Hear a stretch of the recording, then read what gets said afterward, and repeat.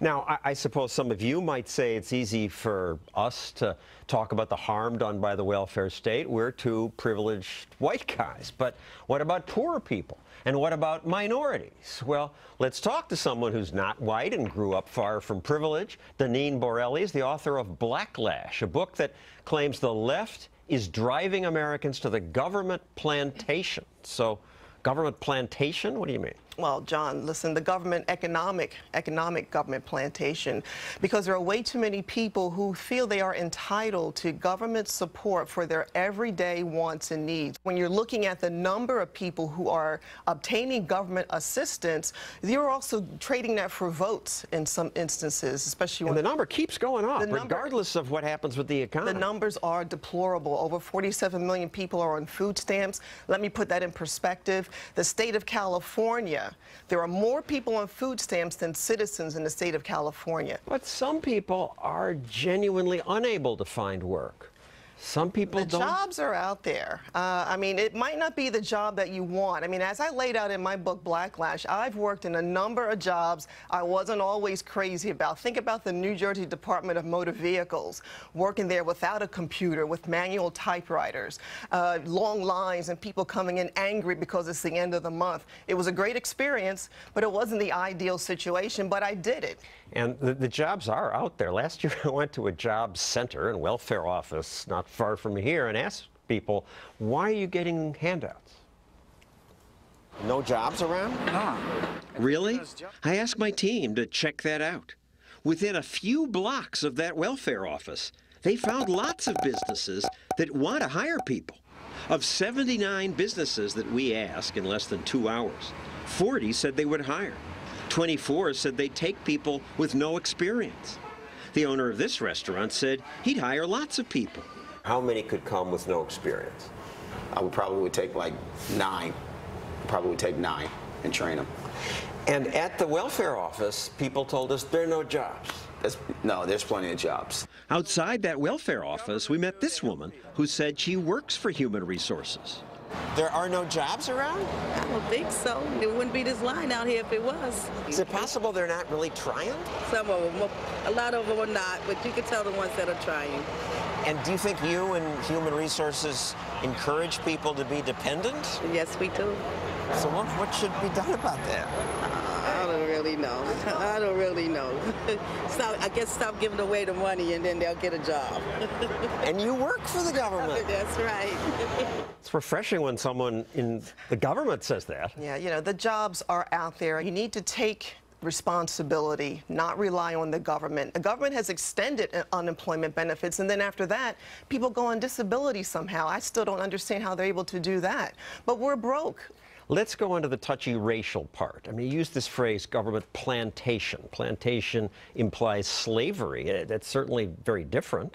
Well, I call it economic slavery. And when you look at the people who are uh, relying on government for their everyday wants and needs, those resources are limited. And uh, with those resources come restrictions. If you are gainfully employed, you can do whatever you want with your resources, and the sky is the limit. So you can make as much money as you want. When I left home, I didn't know what job I was going to take, but I always took a job where I knew I could uh, learn something, gain from it, and advance from there. You say growing up, you heard messages from so-called civil rights leaders that said, don't do that? Yes, and we still hear the same messages, and I call them the black liberal establishment, community activists, some pastors. What's the message? NAACP. The message is that blacks are victims, blacks need special treatment, and it's the same message a I've white heard racist society, you today. can't make it. And to blame others. Uh, Charles Murray said in the book Losing Ground that helped turn things around. We tried to provide more for the poor and produced more poor instead. We inadvertently built a trap. That's what you both are arguing. Absolutely. Look, look what we did. We said to people, have babies. We're going to pay you to have children. We said we're going to give you you know, aid for this. We're going to give you welfare for uh, not working. We're going to give you housing that you don't have to pay for. If you have no skin in the game, if you go to an apartment and you don't have to fill out a lease and give the guy a deposit and then pay your rent every month, what's the difference? You have no skin in the game. She says uh, uh, plantations. I say we've created vertical Indian reservations in our city where we're just warehousing human beings. But you talk about children the people on the left would say, you cut this out, you're punishing these children. They're innocent. Of course, they're innocent, but at some point you've got to break the cycle of poverty. You're not going to break the cycle of poverty if you keep making more poor people, because we're now four or five generations into people who have no nothing else than government support. You know, I watch Judge Judy all the time, and she always asks these people about their case, and they don't know anything about the case they're being sued for. But then she says, How do you make a living? And you know what they say? Oh, I get WIC, I get AFDC. They know government programs like the back of their hand, but that's all they know. Now, Deneen, uh, on Amazon, we looked at your Amazon page for Blacklash. Yes. Some nasty comments about you. Jay Pettit says you're despicable. It's so easy and profitable to pander to the Republicans, give them one more black face to try to show, see, we're not racist.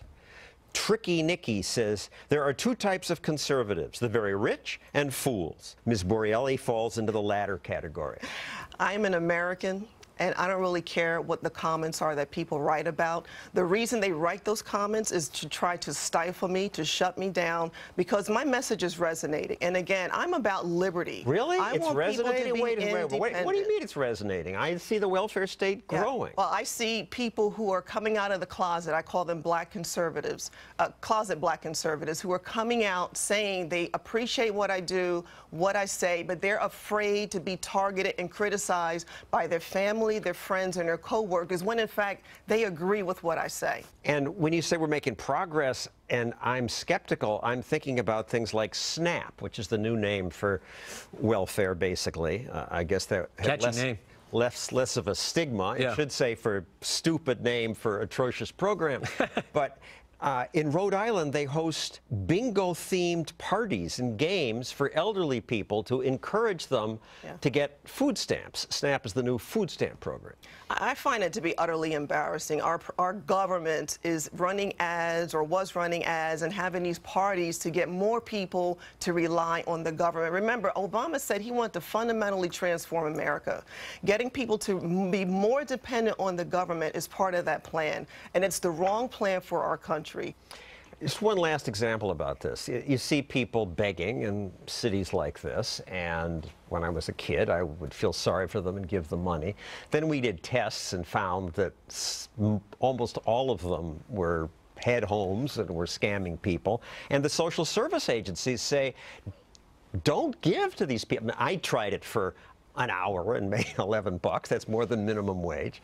Um, by giving money to those people, you are teaching them to be dependent or supporting their alcohol habit. You're saying, yeah, you don't need to work. We're teaching people to eat fish. We're not teaching people how to fish. It's an old cliche, but it's true.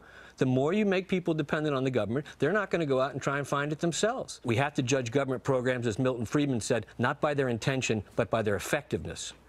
And the problem is we've got too many government programs that are ineffective. And it seems you can't get rid of any of them. Thank you, Patrick Dorinson, Deneen Borelli,